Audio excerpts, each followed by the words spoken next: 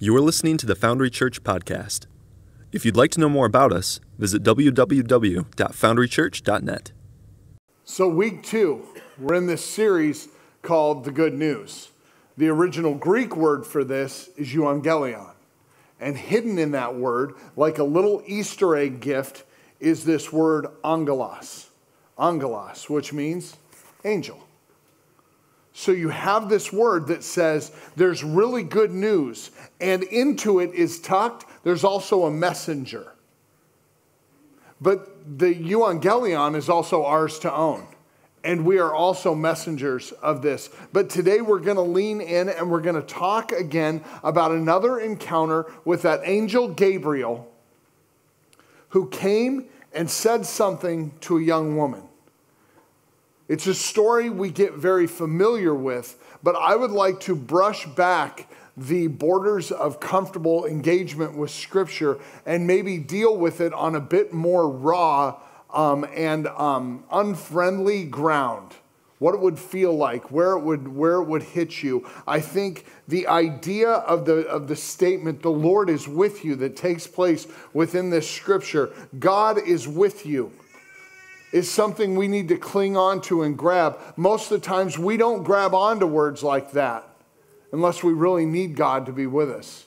Most of the time, we hope He didn't see what we just did rather than take comfort in the fact that He's with us. So today we lean in. I do know this that there is some comfort in having people we know and love with us in situations maybe where we're a little uncomfortable, where we're, we're afraid, right? I know this. My, my granddad and I struck up a friendship. Um, when I was uh, 15 years old, he would uh, come to California and he would go to the school. He didn't even ask my parents. He'd just go sign me out, which I'm like, yeah, granddad. Um, and he would take me and he'd say, I need ham and eggs. And I'm like, I need to go to the beach. Seems like we've got a winning combination here, Granddad. And off we would go. And we would go spend a day in San Diego, just he and I. And um, he would always tell the waitresses, this young man's single. And I'm like, it's because of things like that I remain single, Granddad.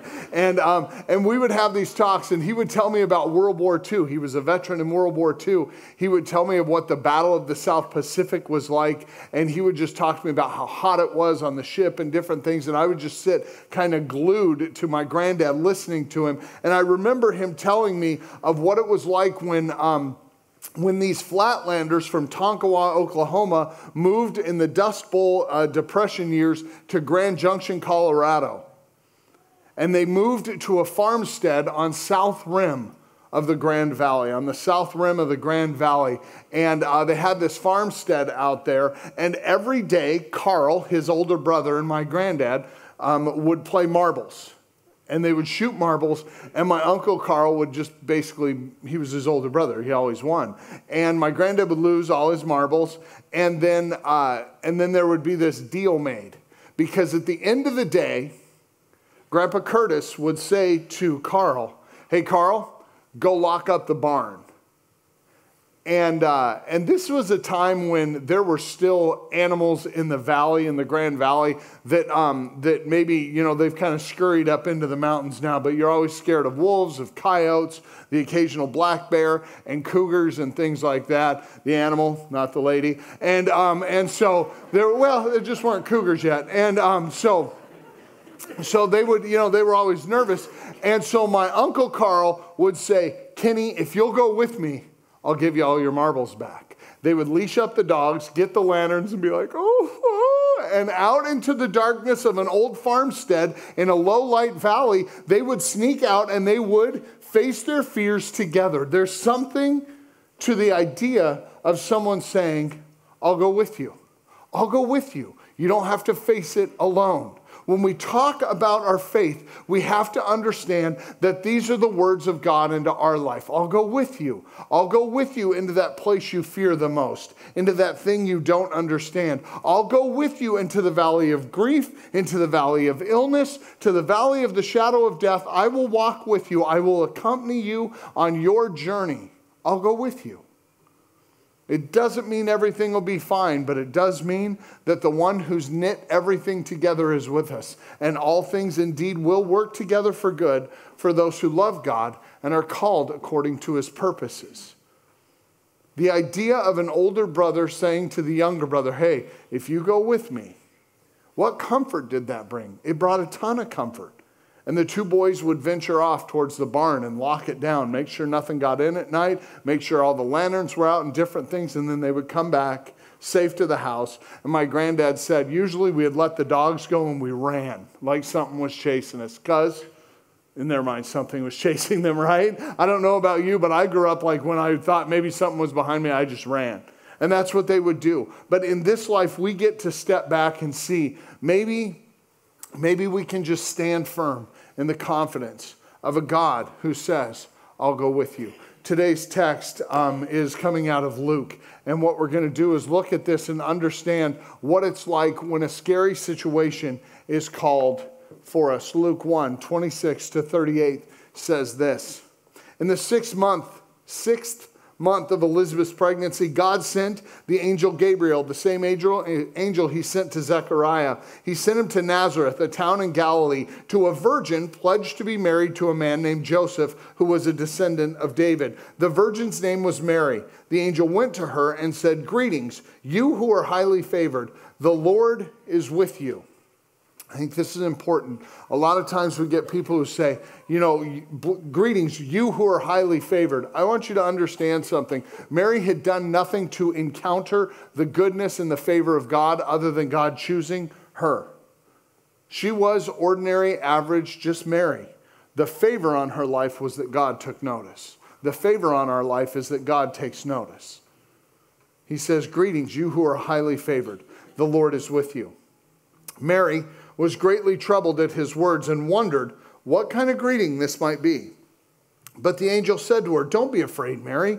You have found favor with God. You will conceive and give birth to a son.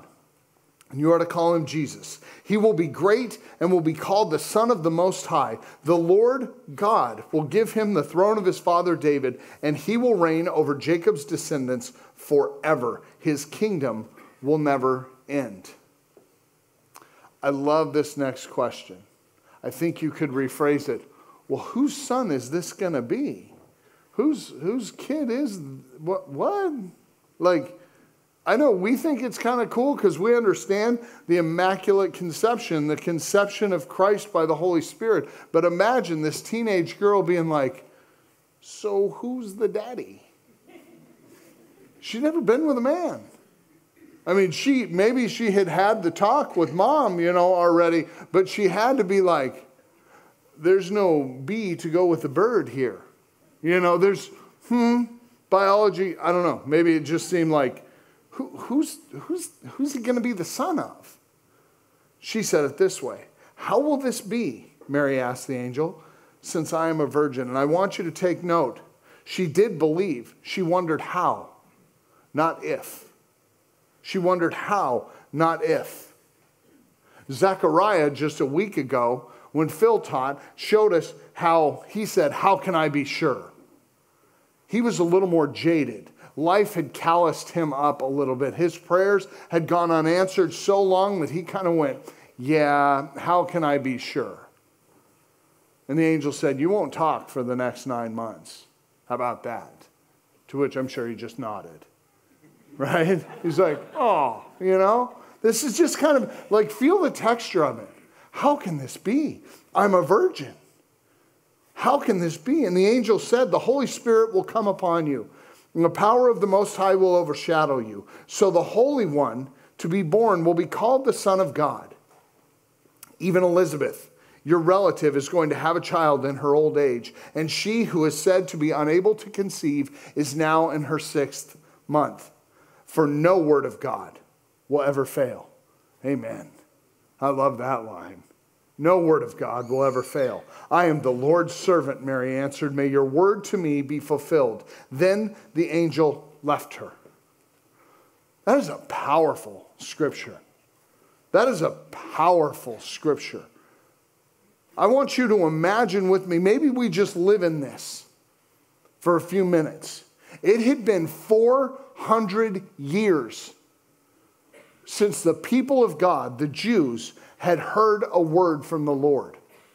The glory of God had never indwelt the temple they were now living in, the temple built after the exile. They had been living in stark, utter silence for four centuries. Not a word from God.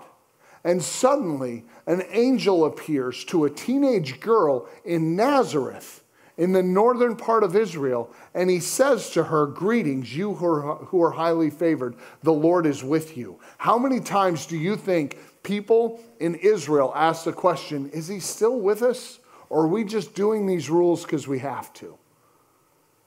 Like, think with me what it felt like for her to be like, Oh my word, he's, he's still here. His glory may not be resting in the temple, but that was an angel and he identified himself. He told her who he was. And we understand that for her, it would have been unbelievable. It would have been unbelievable. But there's two big promises. There's two big promises that go on in this that I think are worth dealing with.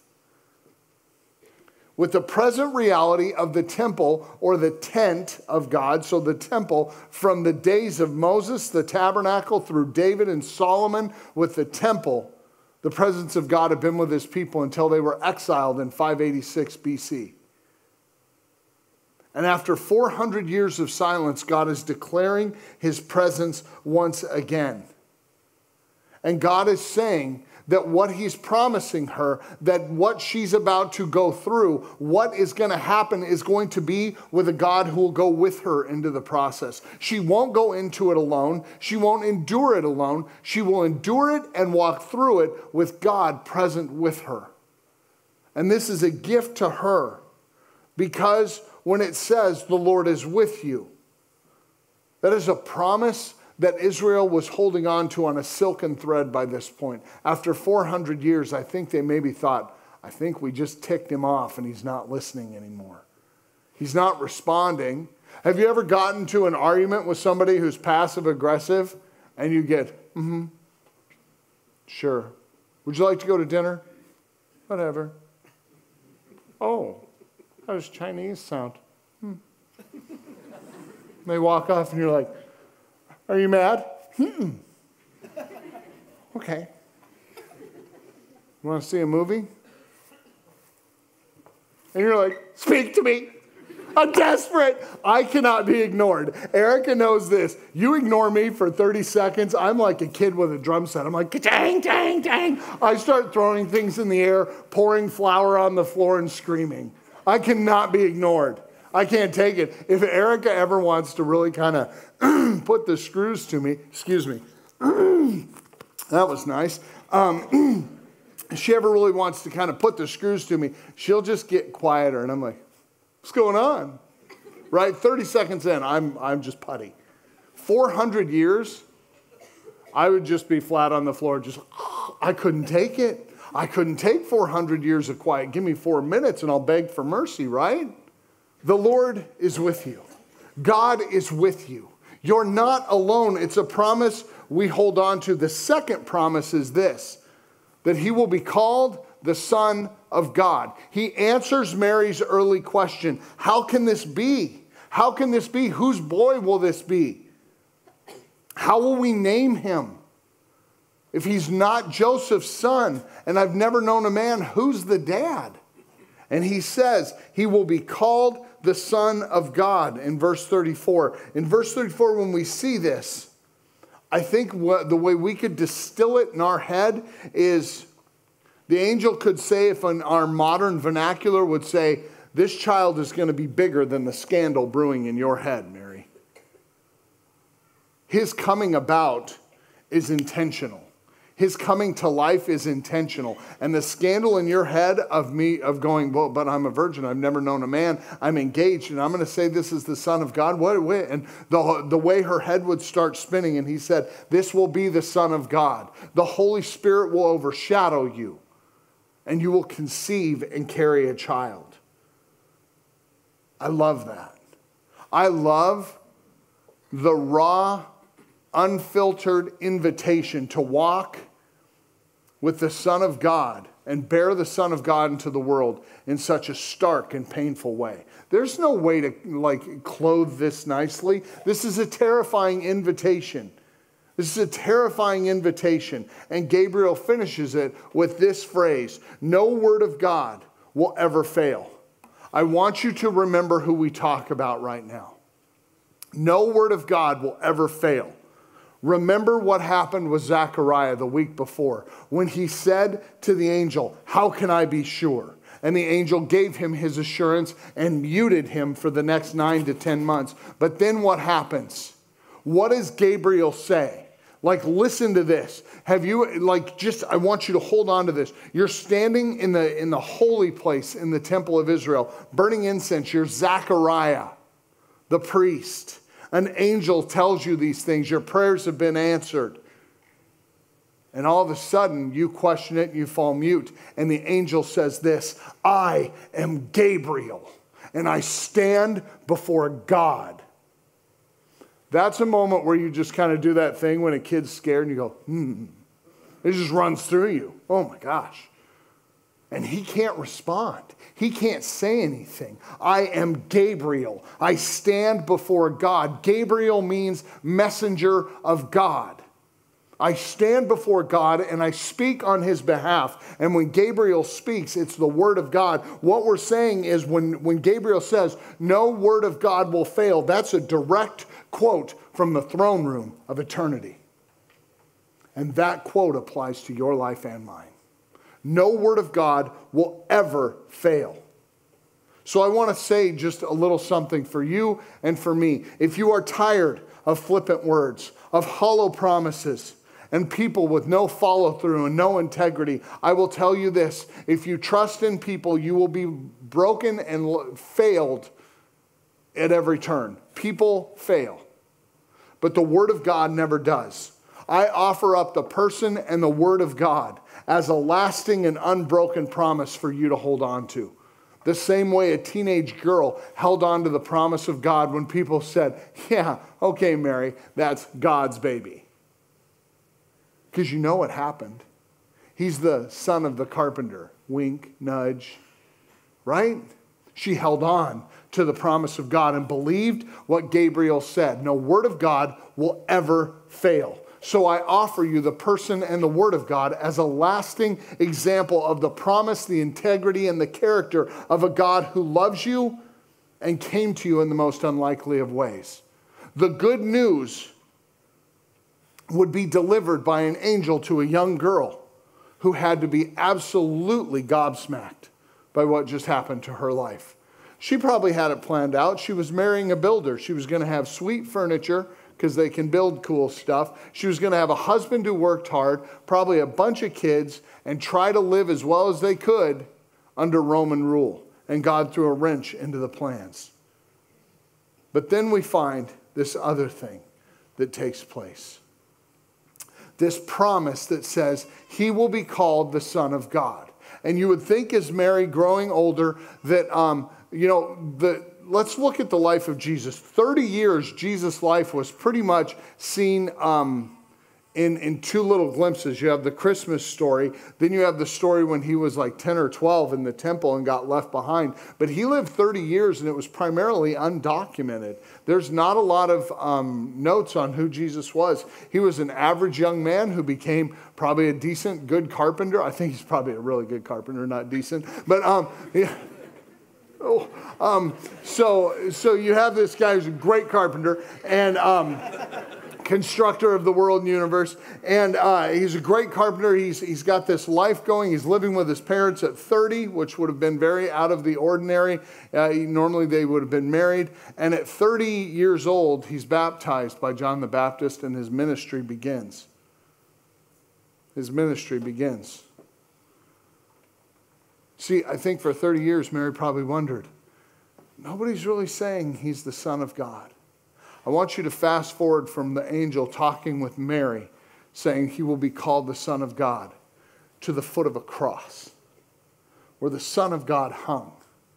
And a Roman who had just crucified Jesus Christ stood below him, looked up, and reminded Mary of the promise when he said, Surely this man is the Son of God. That's an amazing moment.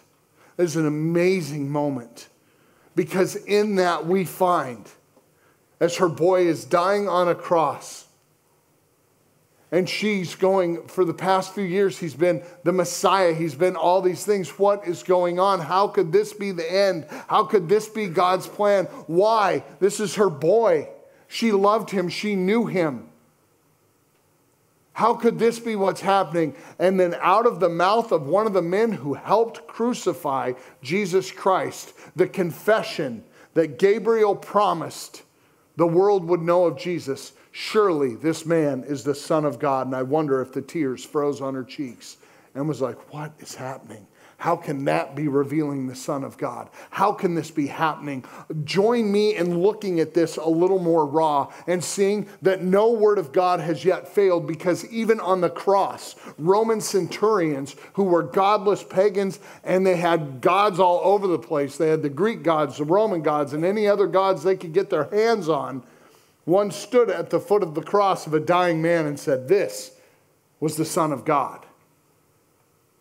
This was the Son of God. And the Word of God has not failed yet again, it is held true. So I want to take a moment and I want to apply this to our lives in a bit of a, a personal way, in a way that, um, well, maybe some words that ring out to us, even into our generation when Jesus says, well, he's saying these words to you Surely I am with you to the very end of the age. It doesn't matter where you are. It doesn't really matter how you feel about it. He's with you. In these places, He's with you. And in you goes the good news, the euangelion, the promise that there is a God who has sought and found us the broken of humanity, and called us back to himself. The good news is that he will go with us, that God is with you. So now that you know that Jesus Christ was promised to Mary, that he would be God with you, Emmanuel is the term for that and he would be the Son of God, and truly that was fulfilled. Now you can know that Jesus Christ, in his last words, said, I'm going to be with you even to the end of the age. I'm not going anywhere. You can trust me. No word from the Lord ever fails. Amen? So we hold on to this and we know that for us, we can grab onto the words of Jesus. And when he says, I am with you to the very end of the age, we can reach right out and grab the tandem line next to it and say, The word of the Lord never fails. No word of God will ever fail. Ever. The word of God is sure, it is steadfast, and it is unbreakable over your life and over mine. And he has spoken the truth over us. He has called us Christian one made into the image of Christ, and that is an unbreakable promise and gift to you. So I'm going to invite you to something. I'm going to invite you to respond in the way that Mary did. To respond in a way that a young teenage girl, most likely standing dead alone in a darkened room, probably cooking or preparing something on a dirt floor, kind of a adobe hut, when the angel who stands before God approached her in her own house and said, This is what's going to happen. I want to invite you to courage today because it took courage. It took, in the face of terror, bravery for Mary to say these words May it be unto me as you have said. What if the church responded to the call of God like that? Each one of you bears a calling in this life. Your life is not your own, it was bought at a price. The price was the blood of Christ. What if the church responded knowing that no word of God would ever fail by saying, May it be unto me as you have said? What if we mustered the courage of a 14 to 15 year old girl and squared our shoulders up and said, I'm not up to the task, but you are. And if you want to make in me the King of Kings, may it be unto me as you have said. Because don't forget what the angel said the Lord is with you. And that promise extends not just to Mary, not just to Joseph, not just to the disciples, but to you and to me. Over the ages, over the millennia, the Spirit of God has hovered close to the church. He has whispered ideas, dreams, and tremors of the kingdom of God shaking the foundations of this earth. He has called us to do crazy things like, I don't know, make a produce section into a church. Start making ships that are hospitals and go meet the needs of the poor and needy. Start having campuses outside of your normal church campus where the body meets and, and send them out and go be missional in, in Holland and soon to the east and to the south. Maybe even another one down by downtown. Get a bunch of college kids worshiping. Maybe build a building. I don't know. But there's been these tremors of the kingdom of God shaking the foundations and the rules of this universe because the Lord is with his church. Amen? Let us never be afraid and think that this is our deal, that this is my deal, this is his church. He came to redeem us. He didn't need us, he wanted us. He loved us, he chose us. So let us hold on to this truth that the Lord is with you. Today, as much as he was with Mary that day, when the angel stood before her. The Lord is with you. Will you be as willing, courageous, and obedient as this teenage girl to let your life carry the Son of God forward in this world? Do you realize that we are all pregnant with the gospel? Have you ever thought about it? The call to Mary is no different than the call to you and I. Take the Son of God and bear him into this world bear him into this world. If there is one thing this church is for, it is for people meeting the Son of God through your everyday, ordinary life. You are the next generation of disciples. You are the Peter, the Paul, the Thomas, the James. You are the church. The Lord is with you. His word has never failed. He has called you, equipped you, and gifted you. Live with the courage enough to echo the words of Mary.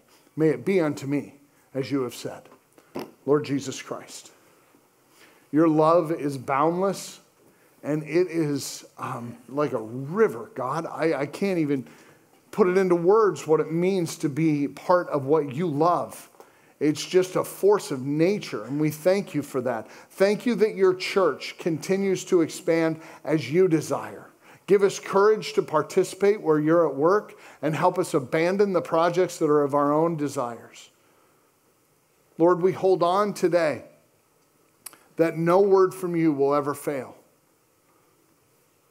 So, God, I pray that you would speak a word over the lives of your church.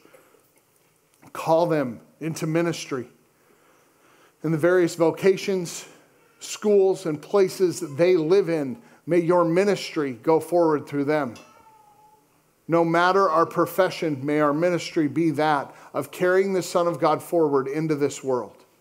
God, give us the courage to not see, I don't know, Lord, numbers, to not see things as too big, but to see the God of heaven who says, no word of God will ever fail. So, Lord, we ask, speak, for your people are listening.